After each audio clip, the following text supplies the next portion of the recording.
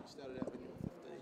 Um, Yeah. That, that must have been volunteer days, and you know, tell us a bit about when you were a volunteer back in the day. And, Yeah. You know, the good points and the bad points. How it was you. Yeah, I started out coaching when I was 15. It was with softball, and um, it was just uh, you know all the kids around my area just needed something to do, and my mother volunteered me actually, and says, "Look, Darryl will Darryl look after the kids on a Wednesday night, and we'll do softball." So that's how we got involved, and we put them all into Marist softball, and uh, that's where I started off coaching. But you know, I, used to love it, I used to enjoy it. Um, uh, you know, having the parents down there always made me nervous because I was sitting there, you know, young fella, and all these parents watching what I was doing and that. But uh, really enjoyed it and got a lot out of it.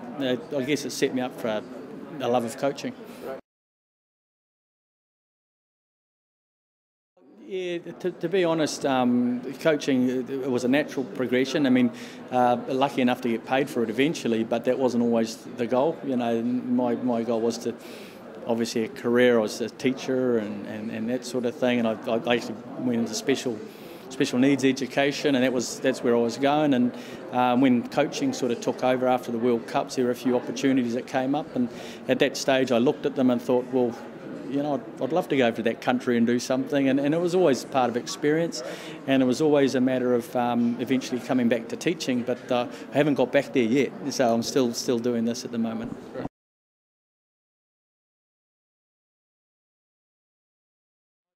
The, volunteers at the grassroots level are vital, and that's probably the main part of my job at the moment is working with um, coaches that are coaching at club level, coaching with kids, you know, the, the small blacks, um, you, you know, through the schools and that, because if they're doing a better job, the coaches are, are, are getting that support, they'll love it, it won't be a chore for them, and they'll love it like I, I really enjoyed it. And um, they'll just keep turning out better athletes for us, and um, it makes the job a lot easier for the professional guys, to be honest, when they've got um, players coming through from clubs um, to play representative football and then eventually professional football that already have um, a sound, um, you know, uh, was it uh, base and what they've learned through their coaches.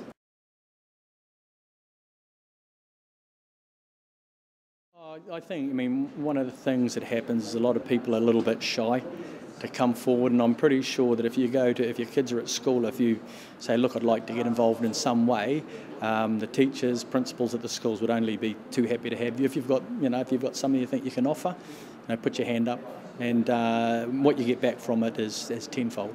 Uh, if you've played the sport, I mean, that's a starting point. If you've played something or you've had fun um, in sport, that's a start. You just give, you know, if your focus is to give people the same enjoyment that you had, um, then that's a start. The skills or the, the techniques of coaching, they will come.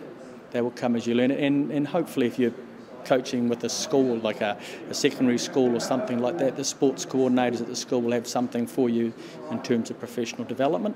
Um, and then if you're coaching in certain sports, you know, like uh, football or rugby or netball, um, there's also the development officers that will, that hopefully they'll help support you with the, with say the technical side of coaching. Oh, The good things about being a volunteer is the people you meet, you know, and, and as opposed to being, say, a professional coach. I mean, I'm not saying there's there's less pressure, but um, when you're a volunteer coach, I mean, everybody's pretty much doing it for the same reason, the love of the sport. At professional level, sometimes the athletes you're working with, they're paid to be there. And um, to be honest, sometimes you feel that. And, uh, you know, if you don't perform, you know, both the athletes are gone and you're gone as well. But certainly at, at uh, volunteer level, it's, you know, everybody's there for the same purpose. Okay, Thanks very much. cool. Thanks.